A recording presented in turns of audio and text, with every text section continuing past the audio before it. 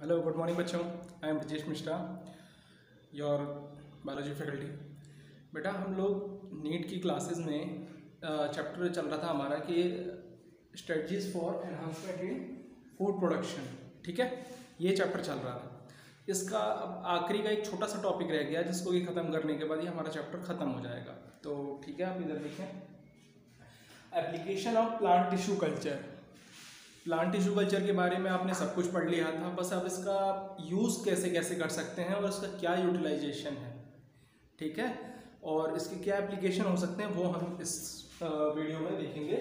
First है इसका rapid clonal propagation and micropropagation अब रैपिड क्लोनल प्रोपोगेशन क्या होता है? क्लोन का पहली बात तो आपको मतलब पता होना चाहिए कि क्लोन का मतलब क्या होता है। क्लोन का मतलब ये होता है कि आप कोई भी एक कार्बन कॉपी बना लें। सपोज़ दैट जैसे कि ये मार्कर है। ये मार्कर आपको दिख रहा है। इसका क्लोन कैसा हो गया? ये रहा। ये थोड़ा सा इसमें डिफरेंस है, इसका कैप आप देखेंगे वाइट है, लेकिन अगर यही एकदम ही हु एग्जैक्ट अगर ये आइडेंटिकल होता। सपोज़ मैं अभी दूसरा एक मार्कर दिखाता हूँ आपको। जैसे कि ये मार्कर हो गया। ये दोनों एक दूसरे के क्या हो गए? यहाँ पर भी थोड़ा सा डिफरेंस है, लेकिन फिर भी आप इसको कंसिडर कर सकते हैं कि ये आइडेंटिकल है एक दूसरे के। क्लियर होगा? तो आइडेंटिकल होने पर कोई भी माइक्रोब या ऑर्गेनिज्म का एकदम सेम एक उसके जैसा एकदम हु एग्जैक्ट कॉपी अगर बना लें तो हम उसे क्लोन बोलते हैं। और ये जब भी पॉसिबल है जब आप उसका ए सेक्शुअल रिप्रोडक्शन कराते थे रिप्रोडक्शन आप चैप्टर पढ़ चुके हैं। ठीक है? आपने टेंथ क्लास में भी पढ़ा है और ट्वेल्थ क्लास में भी आपने पढ़ा था प्लांट के केस में और एनिमल के केस में भी। क्लियर हुआ? तो जब रिप्रोडक्शन कराते हैं तो भी क्लोन बनता है तो उसमें आपका ए सेक्शुअल रिप्रोडक्शन में होता है। और दूसरा हम क्लोन कैसे बनाते हैं? दूसरा हम क्लोन बनाते हैं कि उसमें उसके जो मेरिस्टमेटिक टिश्यूज़ हैं या फिर उसका कोई भी प्लांट का कोई एक सेल और सेल या ऑर्गन कुछ भी ऐसा लेके, फिर हम उसका क्या करते हैं? कल्चर में उसके टिश्यू को बहुत सारे उसके नंबर्स को एक्सपेंड करते हैं। ठीक है? न्यूट्रिएंट ग्रोथ मीडियम उसको प्रोवाइड कराते हैं। तो वही है the production of thousands of plants production of thousands of plants through tissue culture ये क्या चीज़ है बेसिकली कि एक या दो नहीं, हज़ारों की संख्या में आप प्लांट्स बना सकते हो टिश्यू कल्चर का यूज़ करके। और टिश्यू कल्चर कैसे कि आपने प्लांट का कोई भी एक जगह से टिश्यू निकाला और फिर उसे कल्चर मीडियम में, यानी कि उसे आप न्यूट्रिएंट और ये ऑक्सीजन साइटोकाइनिन प्रोवाइड करते करते आप उसे ग्रो करवा रहे हैं। ठीक है? तो उसे एक नया प्लांट जनरेट करते हैं। तो वो क्या होंगे कि अगर उसके वो सेक्सुअल पार्ट यानी जर्म प्लाज्म से ना बन के ये सेक्सुअल पार्ट यानी कि उसके वेजिटेटिव पार्ट से बन रहे हैं तो वो क्लोन ही होते हैं। क्लियर हुआ। तो यहाँ क्लियर हुआ।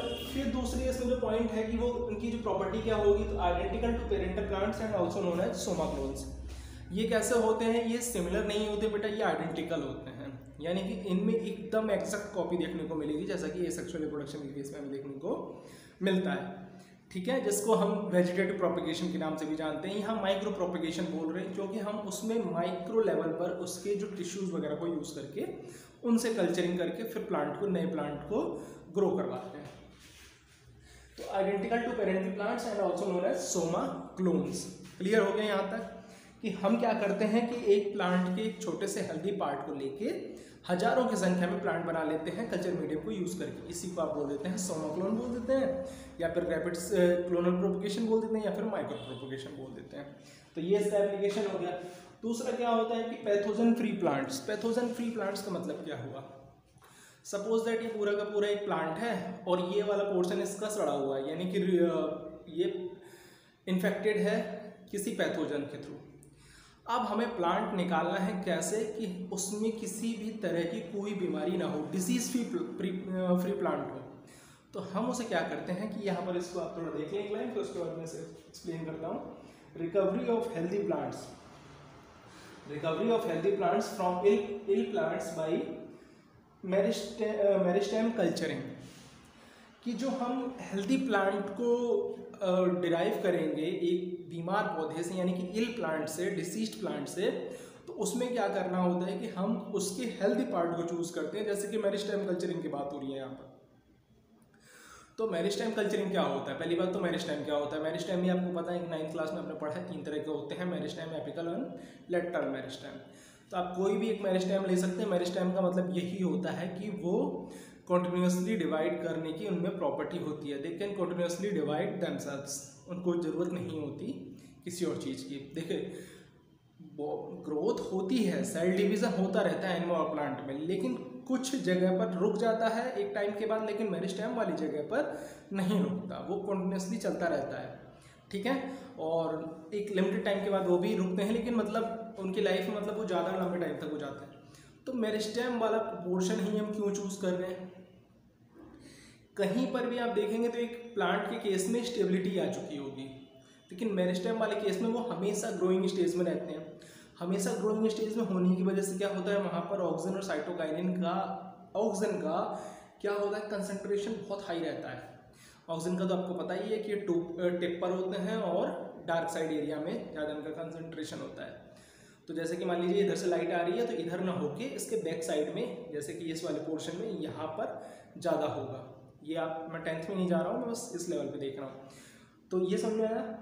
तो जब इनका कंसंट्रेशन हाई रहता है और इनमें रैपिडली सेल डिवीज़न हो रहा होता है rapidly cell division oxygen cytokine की वजह से हो रहे होते हैं तो फिर क्या होता है, जब रैपिडली सेल डिवीज़न हो रहा होगा तो वहाँ पर इन्फेक्शन की मतलब उतनी ज़्यादा वो नहीं रहती प्रॉब्लम नहीं रहती कि वहाँ पर इन्फेक्शन हो सके। तो वहाँ इन्फेक्शन होने से पहले ही आप उसे निकाल सकते हैं।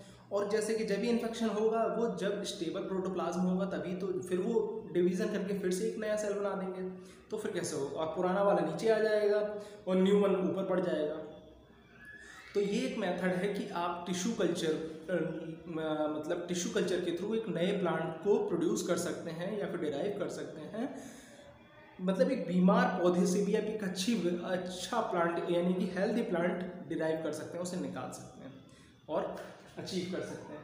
तो ये एक इसके दो बहुत ही बढ़िया इसके एप्लीकेशन है प्लांट टिश्यू कल्चर के। एक तो आप कम टाइम में ही बहुत सारे प्लांट को ग्रो कर सकते हैं और इनका जो ट्रांसफरिंग प्रॉब्लम नहीं होती है। जैसे कि आप बड़ा कोई प्लांट या लें या फिर जिस तरह से लें तो उसे इधर से उधर ट्रांसफ़र करने में दिक्कत होती है। लेकिन एक छोटी सी किट में, छोटे से किट में भी सपोज़ दैट जैसे कि यहाँ पर एक ये किट है मतलब कि ट्रे है, इससे बहुत सारे छोटे छोटे छोटे छोटे प्लांटलेट्स हज़ारों की संख्या में आप इसे लेके एक जगह से दूसरी जगह आप ट्रांसफ़र कर सकते हैं, जा सकते हैं लेके।